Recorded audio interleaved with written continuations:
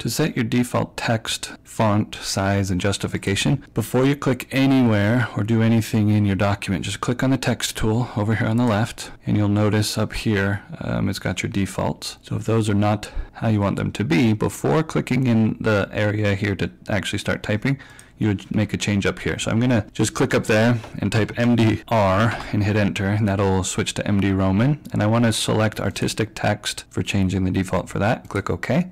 Same thing for up here. I'm just going to click one inch, hit enter, click artistic text, click OK. And the justification, I want to switch to center, click artistic text and click OK.